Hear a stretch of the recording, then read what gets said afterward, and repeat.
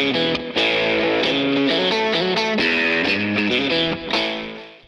friends, this is Aishwarya from freshersworld.com. Welcome to our YouTube channel Jobs and Careers. The topic that we are going to look today is calendar part 3.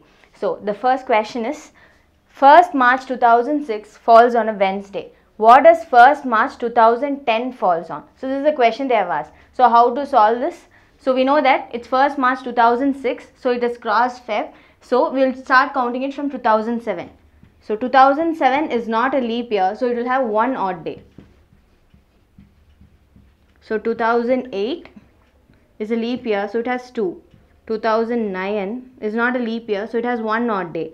2010, it has 1 odd day. So they've asked till 2010. So 3, 5. So 5 odd days are there. So what do we do? The question they have asked, 1st March 2006 is a Wednesday. So the question they have given is Wednesday.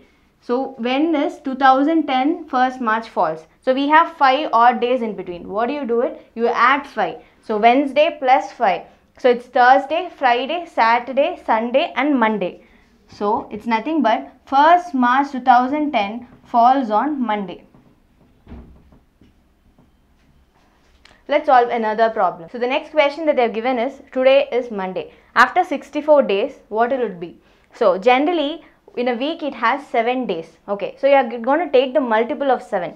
So 7, take the multiple of 7 which is closer to 64. We know that 7 nines are 63. So after 63 days also it will be on Monday. So 63rd day is nothing going to be Monday. So 64th day is nothing but one day added to it which is nothing but Tuesday.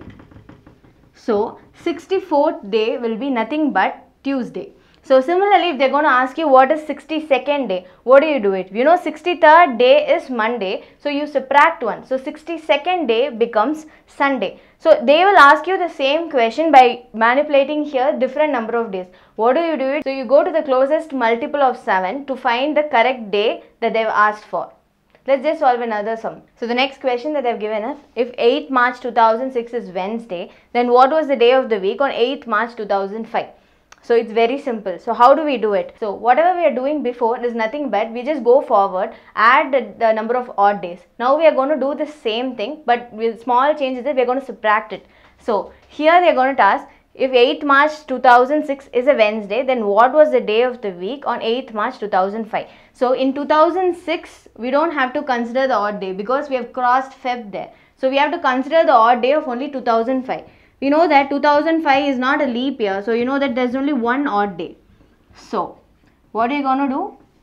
As 2006 is a wednesday you're going to subtract one day here. So in order to get the 2005th day so wednesday minus 1 is nothing but tuesday. So 8th march 2005 falls on a tuesday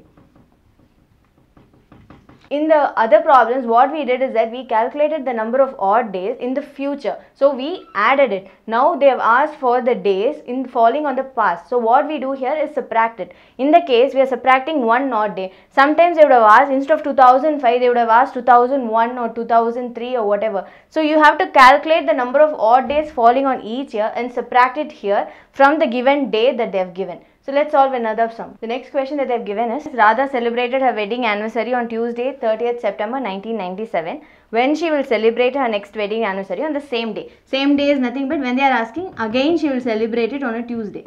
How are we going to do it? We are going to do it on the same concept of odd days. So let's start counting the number of odd days. 1998 is not a leap year so the number of odd days is 1. 1999 is not a leap year so number of odd days is 1. 2000 is a leap year so the number of odd days is 2 2001 is not a leap year so the number of odd days is 1 2002 is nothing but number of odd days is 1 and 2003 is 1 so if you add it you will know that see the same day will be repeated again after every 7 thing. So if you know if you add this the total is nothing but 7 so this 7 comes here after 6 years. So 1997 plus 6 years you are going to add it here which is nothing but 2003 So in 2003 30th September, Radha is going to celebrate her anniversary again on a Tuesday. So this is the same way you're going to follow for other sum. They would have given you a different date. What you're going to do, you have to calculate the odd days. When the odd days comes to a sum of 7, then you have to calculate the number of years you have taken here and add it to get the value here. In today's video, we discussed about the various problems that falls under calendar. In the next video, we'll also solve a couple of more problems which falls under the calendar topic. So if you're a person who is looking for a job, kindly register in our freshersworld.com, like this video and subscribe to our channel. Thank you.